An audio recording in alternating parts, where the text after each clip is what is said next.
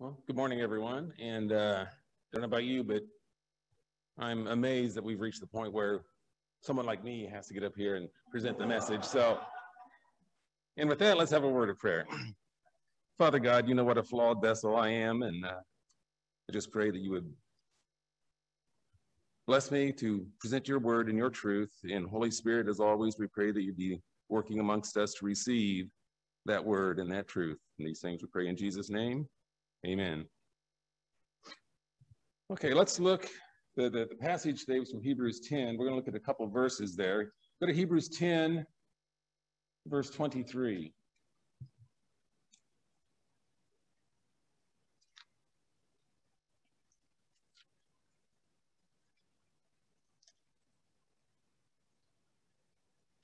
As you're turning here, I was just telling my wife, Barbara, there, there's just something different I teach Sunday school quite often, but there is just a different aura when you are presenting the sermon. So, so bear with me if I stumble here and there. So Hebrews chapter 10, starting in verse 23. And the word says, Let us hold fast confession of our hope without wavering, for he who promised is faithful. And let us consider one another in order to stir up love and good works, not forsaking the assembling of ourselves together, as is the manner of some, but exhorting one another, and so much more as you see the day approaching.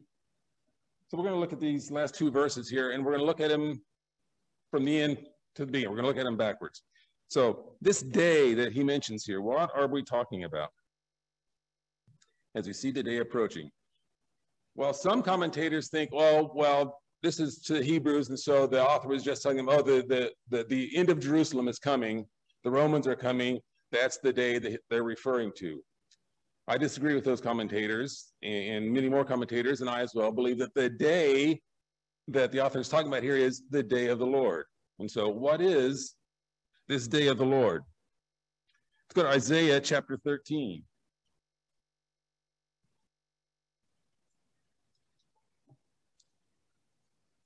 Isaiah 13, starting in verse 6.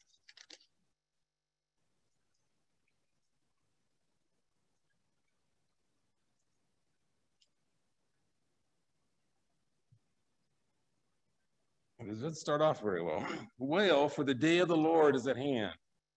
He will come, it will come as destruction from the Almighty. Therefore, all hands will be limp, every man's heart will melt, and they will be afraid. Pangs and sorrows will take hold of them. They will be in pain as a woman in childbirth. They will be amazed at one another. Their faces will be like flames. Behold, the day of the Lord comes, cruel, with both wrath and fierce anger, to lay the land desolate, and he will destroy its sinners from it. For the stars of heaven and their constellations will not give their light. The sun will be darkened in its going forth. The moon will not cause its light to shine. I says the Lord, will punish the world for its evil and the wicked for their iniquity. I will halt the arrogance of the proud and lay low the haughtiness of the terrible. I will make a mortal more rare than fine gold, a man more than golden wedge of Ophir. Therefore I will shake the heavens, and the earth will move out of her place in the wrath of the Lord of hosts in the day of his fierce anger. And there's other passages that talk about this day of the Lord. But what the day of the Lord is, it's not a 24 hour period, it's a figure of speech. A day means a period of time. And specifically, the day of the Lord is when the, God finally, after you know, millennia of patience, pours out his wrath upon the earth. So this is the day of the Lord. It doesn't sound like a very happy time. Fortunately for we in the church, the day of the Lord is preceded by the day of Christ. As you see from the picture up here, that's what I chose to represent the day of Christ when he comes for his church before God pours out his wrath. So, so the author in Hebrews is saying, as you see the day of the Lord approaching, well, how can we see this day approaching? Is it a, is it a secret? Is it well known? Well, let's go to First Thessalonians and see what Paul has to say about it. Because I've heard tell that it comes like a thief in the night and no one will know.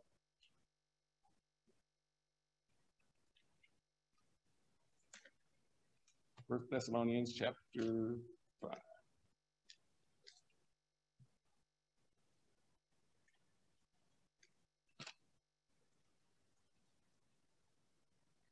So here Paul says, but concerning the times and the seasons, brethren, so he's talking to believers here. He's not talking to the masses. He's talking to believers. You have no need that I should write to you. See, Paul says, I don't need to tell you about the signs and the seasons because you already know. You have the scriptures already. So you, you can discern the times. For you yourselves know perfectly that the day of the Lord comes as a thief in the night. Well, now he's saying, well, it comes a thief in the night. How, how, are you going to see the day approaching if he comes as a, as a thief, if it's sneaky? For when they say, okay, he's talking to the brethren, now he's referring to they. The they here are the unbelieving world, the, the, the wicked, the sinners that the day of the Lord is appointed for. When they say peace and safety, then sudden destruction comes upon them as labor pains upon a pregnant woman, and they shall not escape. And as we saw back in the previous passage, what they're not going to escape is awful and terrible, and it's God's judgment upon the wicked.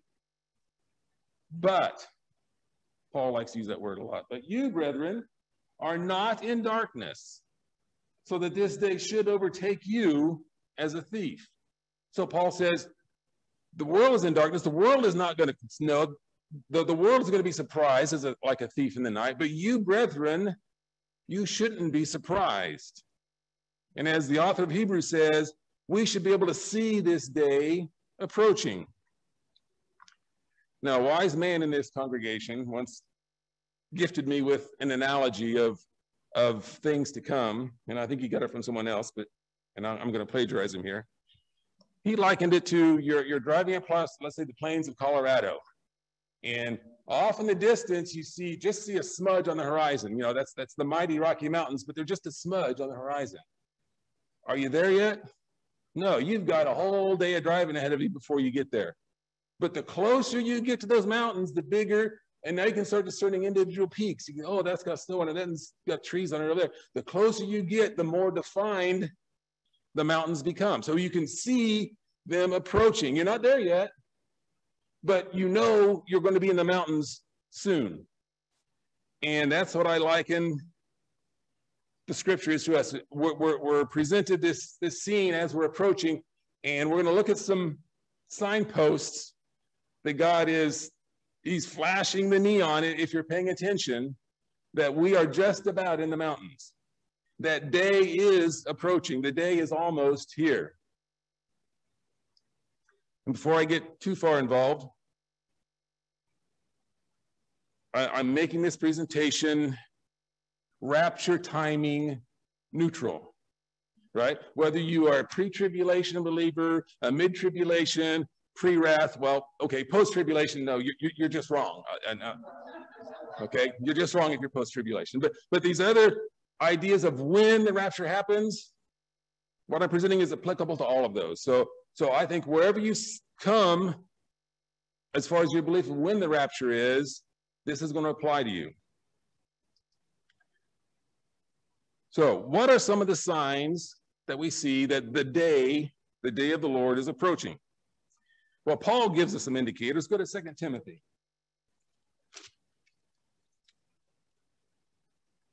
Chapter 3, 2 Timothy 3.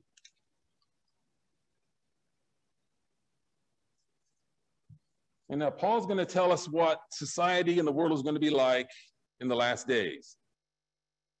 And now some people say, oh, but it's always been like that. Well, then why didn't Paul just say, well, in the last days, things will be pretty much the way they are? He doesn't say that. So the things he's describing here, yes, they've always existed in some form or another, but they're going to wax much greater as we get closer to those mountains, as we see that day approaching. So they're in chapter 3 in 2 Timothy. But know this, that in the last days, perilous times will come. For men will be lovers of themselves we don't see any of that, do we? Lovers of money, boasters, proud, blasphemers, disobedient to parents, unthankful, unholy, unloving. And here's the big one. You, you turn on the news and watch any political talking head, unforgiving. The, the hatred is palpable in the world today. slanderers, speaking of politicians, without self control, brutal, despisers of good, traitors, headstrong, haughty, lovers of pleasure rather than lovers of God. And then and here is the, the truly frightening one, verse 5 having a form of godliness, but denying its power, and from such people turn away. So the, even the churches are full of, I call them nominal Christians, Christians in name only. And they, they, they, they might say, oh, yes, I believe in a Jesus, but they deny the power of that name and what that means. So here Paul is saying, in the last days, society is going to go down the toilet. And I don't know about you, but you know, I've lived over half a century now. Things are worse than when I was young. We got some people that are a little bit older than me. They can probably vouch as well. Things are not normal. Things are not the way they used to be. Things are waxing worse. And just like Paul tells us, in the last days, society is just going to get worse and worse and worse. So that's, I call that just a, a general sign, right? We have some more specific indicators. It's been in the news a lot here lately. The nation of Israel. Go to Isaiah chapter 66. See, because without Israel, you know, nothing else matters. Israel is God's timepiece. Israel is the center of everything in the end times. So if Israel doesn't exist, then we're, we're still in Nebraska. Isaiah 66.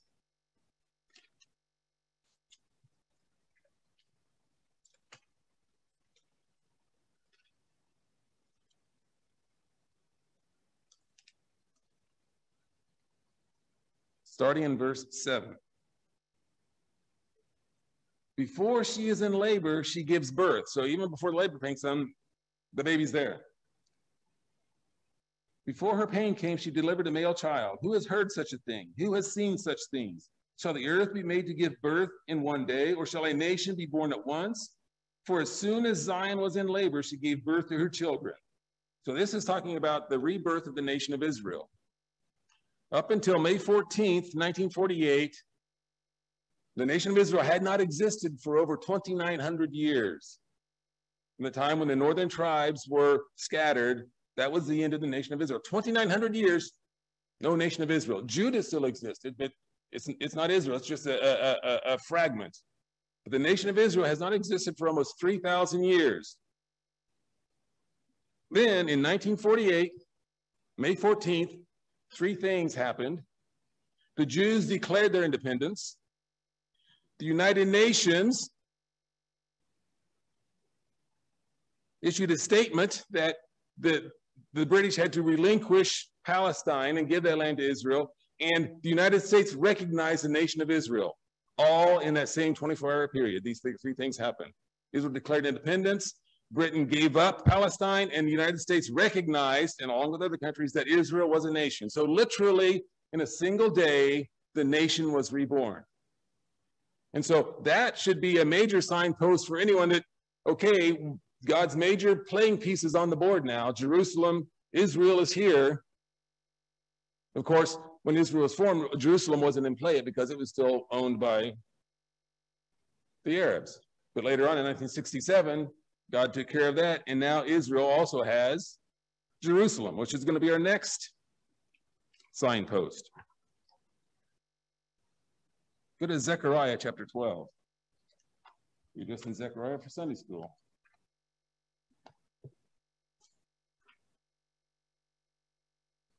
Zechariah 12.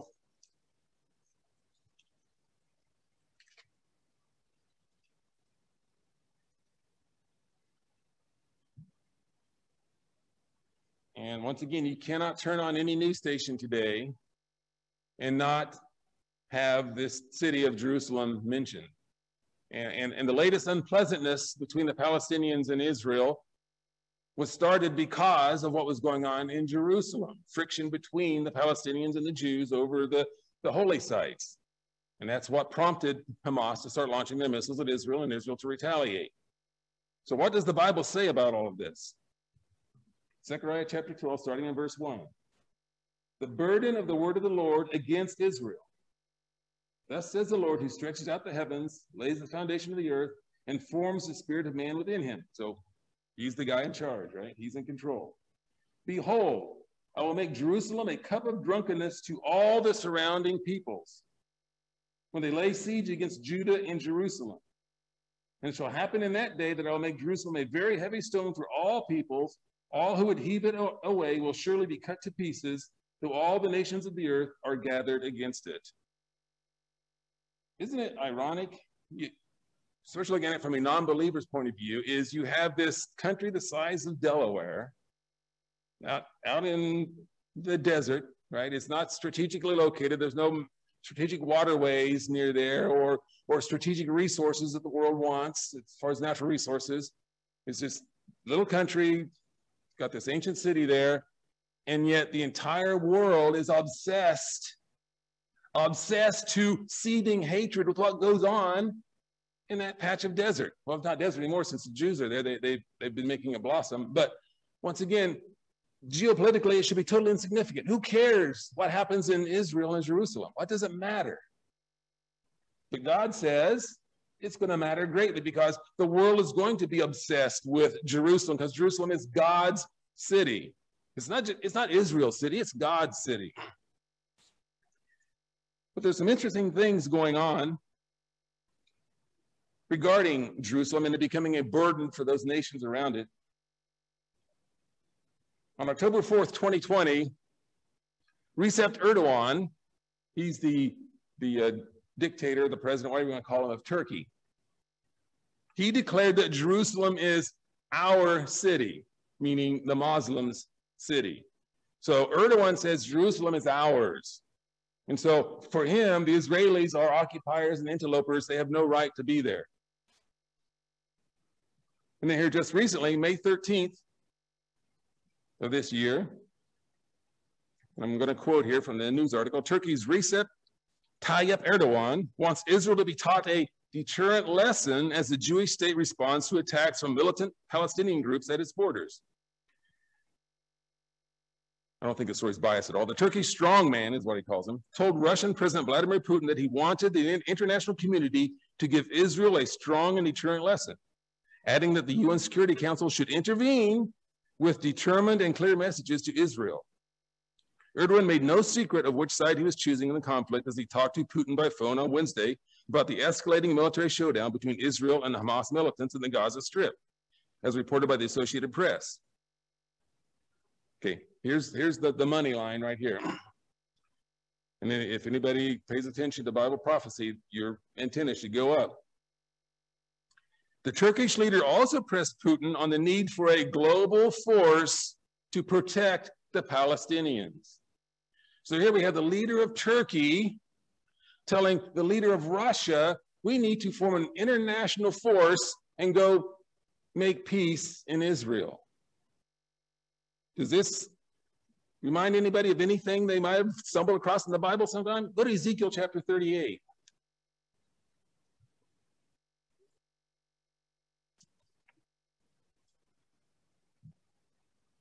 Once again, what, I'm not saying these things are coming to fruition just yet, but the mountains are approaching.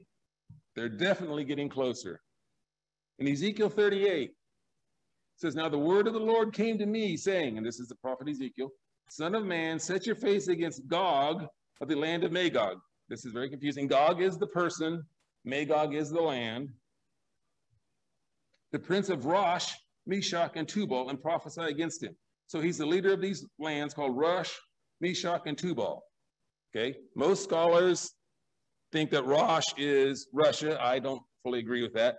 But these other places that they mentioned, Meshech, Tubal, and prophesy against him, these are regions in Turkey. And thus say the Lord God, behold, I'm against you, O Gog, prince of Rosh, Meshech, and Tubal. I will turn you around, I will put hooks in your jaws, and lead you out with your army, horses and horsemen, all splendidly clothed, a great company with bucklers and shields, all of them handling swords.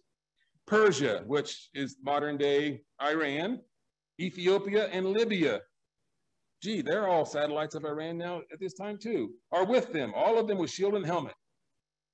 Gomer and all of its troops, and the house of Togarmah from the far north and its troops, and many people with you. So Gomer and Togarmah are also regions of Turkey. So what the prophet here is saying is sometime in the future, Turkey is going to lead an invasion of Israel. And here we just see this news story where the leader of Turkey telling the leader of Russia, right? We need to do something. The world needs to do something. We need to intervene and stop this, what's going on in Israel. Mountains, we're getting closer. So let's drill down a little bit closer to Jerusalem. Let, us let's zoom in even closer. Go to Revelation chapter 11.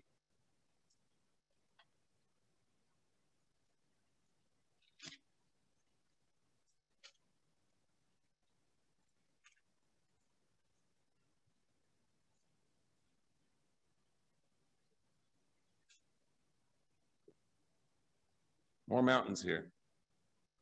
Revelation chapter 11, starting in verse 1.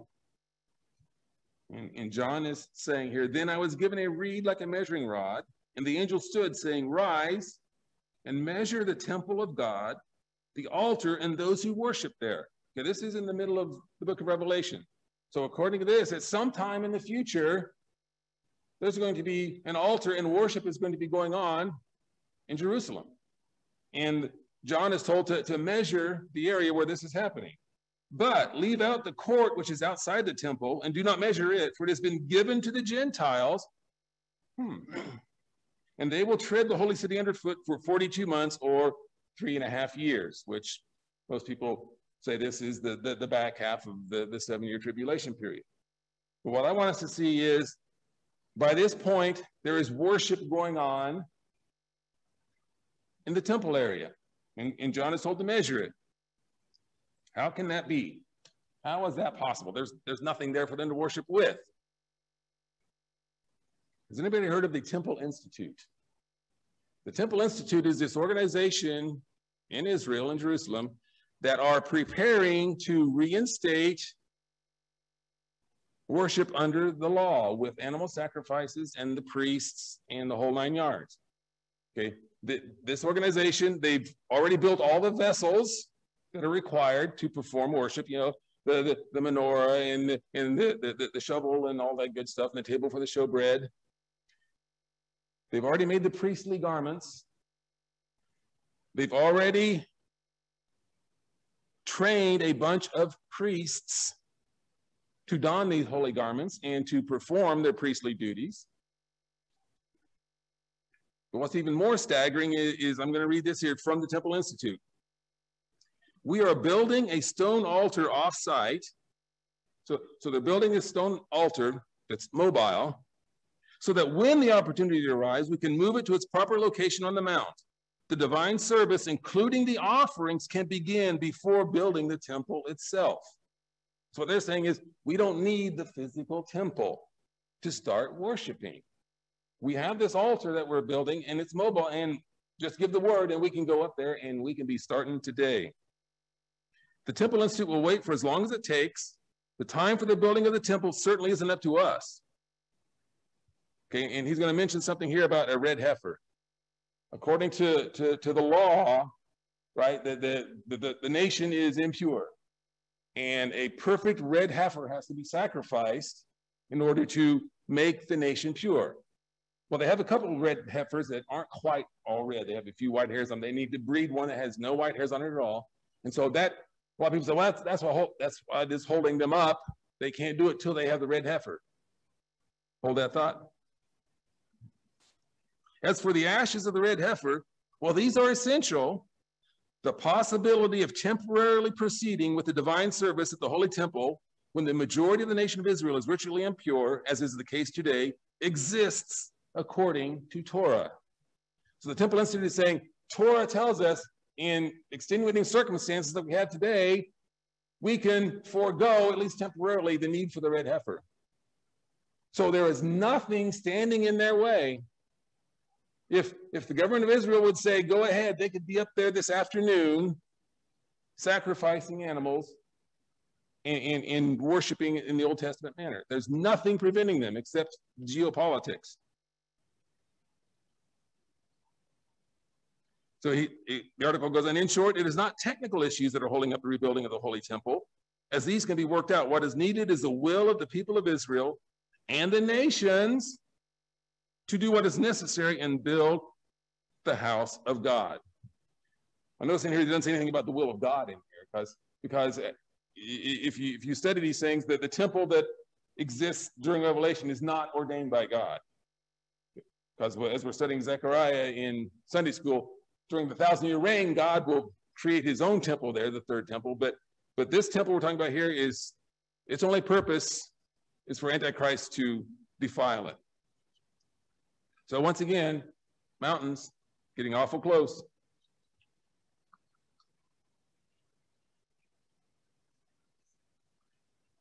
Next sign that we're approaching that day. And to me, this one is huge. But I need to preface this with a crystal clear statement. Otherwise, I don't want to get run out of here on a rail. Okay? What I'm about to say, pay attention very carefully. I will speak slowly. okay? The coronavirus vaccine is not the mark of the beast. Okay? The coming coronavirus passports are not the mark of the beast. Okay? But let's read. okay. Oh, so we're, we're clear, right, on what is not the mark of the beast. Okay. Skip over to chapter 13 in Revelation.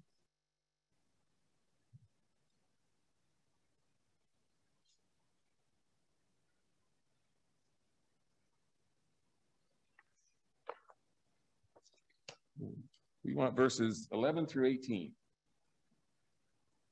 Then I saw another beast coming up out of the earth. He had two horns like a lamb, and he spoke like a dragon. Oh, we could spend all day just on this passage, but that's for another day. And he ex exercises all the authority of the first beast in his presence and causes the earth and those who dwell in it to worship the first beast, who is Antichrist, whose deadly wound was healed. He performs great signs so that he even makes fires come down from heaven on the earth in the sight of men. I mean, this guy's doing real things. I mean, this isn't fake. He's not, and he deceives those who dwell on the earth. Little tidbit, you know, I've studied Revelation a lot, and if, if you're ever reading Revelation on your own and you see that term, those who dwell on the earth, it's used like 13 times in Revelation, it always invariably refers to non believers. So we know who we're talking about here. And he deceives those who dwell on the earth by those signs which he has granted to do in the sight of the beast, telling those who dwell on the earth to make an image of the beast who was wounded by the sword and live. And he granted power to give breath to the image of the beast, that the image of the beast should both speak and cause as many as would not worship the image of the beast to be killed. So they're instituting this, this law where you have to worship the Antichrist or you will die. Okay, now here we go. he causes all, both small and great, rich and poor, free and slave, to receive a mark on their right hand or on their foreheads Okay, and so this mark, the, the, the Greek word is charagma, and it means to scratch or an etching. That is a stamp or a badge of servitude. So this is something that's visible, right, on your body, either your forehead or your right hand. And so what is this thing for then? And that no one may buy or sell except one who has the mark or the name of the beast or the number of his name. So what's this got to do with anything? Well, like I said, the, the vaccine is not the mark of the beast. The coming passports, and they are coming, are not the mark of the beast. But, but they are, in my mind, the final precursor to the actual mark of the beast. It is conditioning society, those who dwell on the earth, right, to accept such a thing. Because right now it, it is it is going to be the COVID passports, and you'll need these to go maskless to certain places. And then they're going to start tightening the screws. And pretty soon it's going to be you're going to need your COVID passport to do virtually anything. Oh, Ron, you're just crazy talking. Am I? The Oregon Health Authority posted this statement. This is happening today. Businesses, employers, and faith institutions now have the option to adjust their masking guidance to allow fully vaccinated individuals to no longer wear a mask in their establishments. That's great. Okay, businesses, employers, and faith institutions doing so must have a policy in place to check the vaccination status of all individuals before they enter their establishment. So all businesses, all churches, you have to have a COVID certificate before you can enter the premises. Once it, that's not the mark, but I, sure, looks like it though, right? So it is the precursor we, it is conditioning us, right? Business employers and faith institutions who do not create such policies will maintain the same masking guidance listed below, regardless of an individual's vaccination status. So right now they're making it incumbent upon you know, the, the, the businesses or the churches themselves to enforce this rule, okay? But it gets much worse. On March 8th,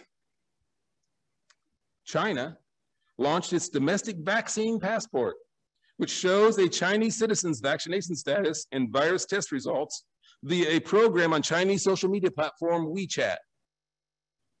The following day, on March 9th, China urged the World Health Organization to allow Beijing, I'm trusting it already, to build and run a global database for vaccine passports and legitimately prompting fears over privacy and expansion of government surveillance. The WeChat program and other Chinese smartphone apps include an encrypted QR code that allows authorities to obtain a traveler's health information. The app tracks a user's location and produces a color code of green, yellow, or red to indicate the likelihood of their having the virus and whether or not the person can walk around freely. These QR health codes are already required to gain entry to domestic transport and many other public spaces in China. So, so we have Oregon rolling out passports and other states are going to do it. Now, some states are saying we're never going to do it, right? Eh, I, I don't believe any politician when he says never, right? They might resist it, but so we have individual states doing it. It'll, be soon that the federal government will, will urge it or, or even mandate it. But the truly frightening thing is we have China pressuring the World Health Organization, which is in China's pocket. Anyway, oh, I'm starting to editorialize, stop it. That they want to run this global registry. They want to run the global passport system to enforce it. Once again, it looks an awful lot like Revelation chapter 13 to me. Once again, it's not, that won't be the mark yet. Because the mark, remember I said it's a visible stamp in your wrist or your forehead. Well, there's this company back in 2004, I think it was, Somark they came up with this wonderful invention. It is an RFID ink tattoo.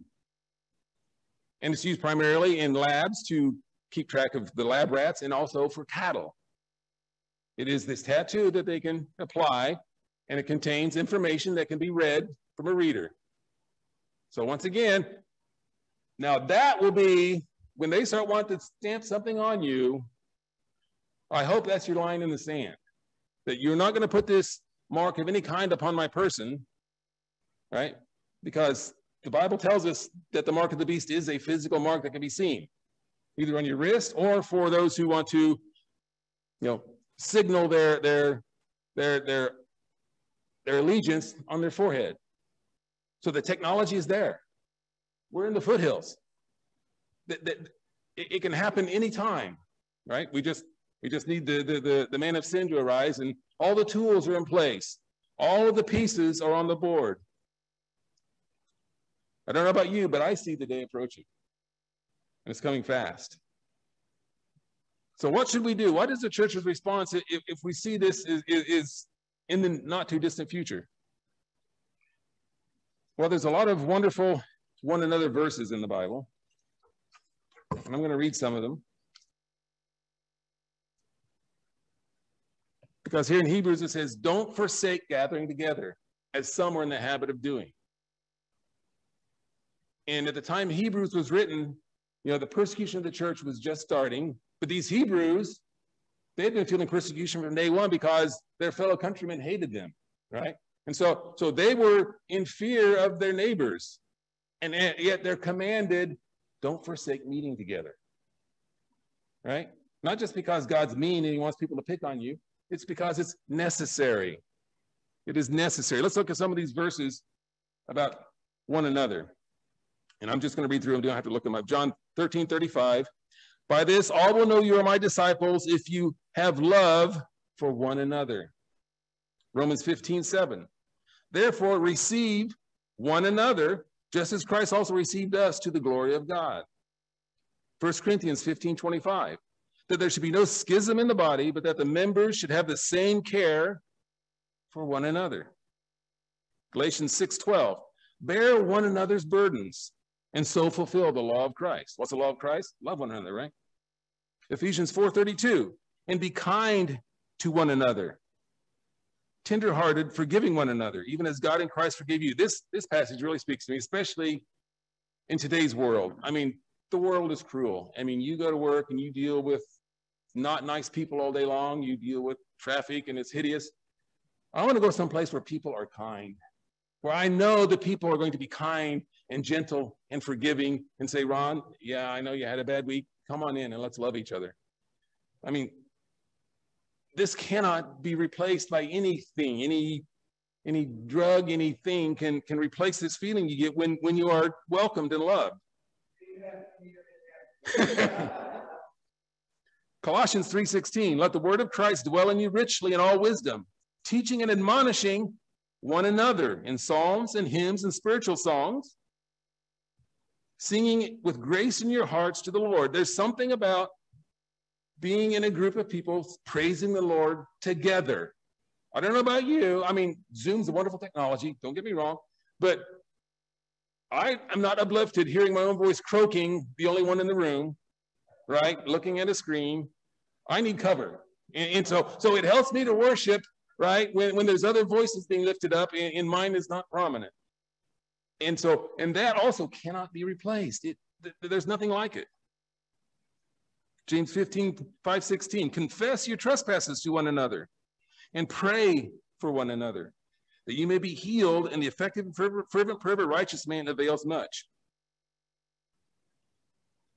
And here in 1 Peter 4, 9, be hospitable to one another without grumbling.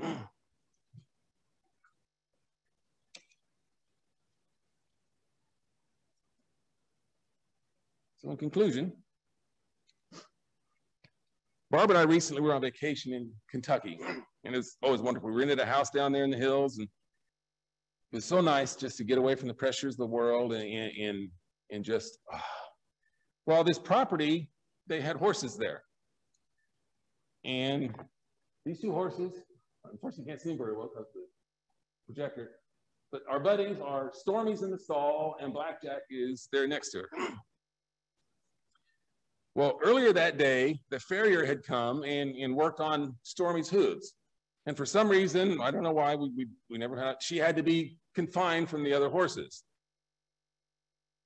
And you could tell she wasn't happy because, you know, they're used to being together all the time. So, so what does Blackjack do? Instead of going out in the pasture with his other buddies and, and living it up and eating like everything's normal, Blackjack goes into the stall and he stood like that all day.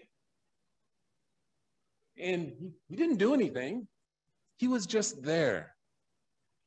And to me, that is what I've been lacking this last year and a half. A smile, a touch, a hug, a handshake, or just someone's physical presence right? You don't have to say or do anything. Just being there sometimes is all that is needed. And that, and I'm not blaming anyone, or I could, but I won't, has been taken away from us for the last year and a half. And yes, there's many good arguments why people should stay away and, and all this stuff, but I'm not going to argue the reasons. I'm just going to tell you the result is it's been hurtful and damaging to the body, right? To all of us. And thank God, right? The restrictions will soon be eased that we can see each other's faces again. We can we can sit next to each other again and and all of those normal activities that to me make up being in the church. And so in closing, the day is approaching. Okay, I am not a prophet, right? If I ever claim to be one, stone me now, right? But I am a student of history. I am an avid observer of geopolitics. You don't have to be a prophet to know that hard times are coming. Persecution of the church in the West is going to arise. See, we in the West, especially America, we've been blessed, but no, it's a curse in my mind. We have been pampered. We have not had, as a body, as, as the church universal in the West, we have, we have not had any hard times whatsoever. There's been no persecution. And because of that, and I'm lumping myself in there with it, we have become soft and even worse, independent. I don't need this. It's nice, right? But when persecution comes, and once again, I'm not a prophet, just from my observations, it's coming. It's already happening in Canada. When the church starts getting persecuted, we are going to need one another because that's all we're going to have. Let's close in prayer. Father God, wait. He reminded me. As a result of this persecution, there's going to be a separating from those who truly believe and those who are Christian in name only. So the question is, well, how do I know I am a Christian and not one in name only? Well, what is what does the gospel of Paul tell us, right? If you believe, right, that Christ died for your sins, and we're not talking about acknowledging a historical fact. Believe means to have faith in, place your trust in the fact that Jesus died for your sins, he was buried, and he rose again on the third day. If you believe that, if you place all of your hope and your trust in that, and only that, you're part of the church. You are a Christian, you are saved, and you're going to be saved from the coming day of the Lord. But if you're not, if you've if you've just walked down the aisle and, and said a prayer and invited Jesus into your heart, I, I'm not fond of that term, that means nothing. Unless you are trusting God for your salvation, Jesus Christ, what he did on the cross, your name only. So come aboard, place your trust in Christ, and join us. Now let's pray.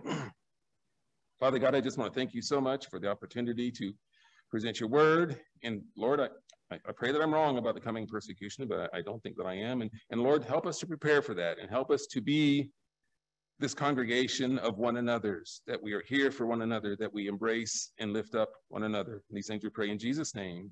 Amen.